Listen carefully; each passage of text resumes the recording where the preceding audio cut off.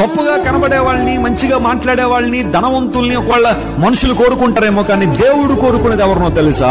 తమ్మును తాము తగ్గించుకునేవారిని. హలలుయ నేను ఎందుకు పనికిరాని వాళ్ళయ్యా నా వల్లేది కాదు కానీ నీవు నాకు తోడుంటే నీవు నాకు సహాయం చేస్తే నేను నీ కొరకు ఏదైనా చేయగలను.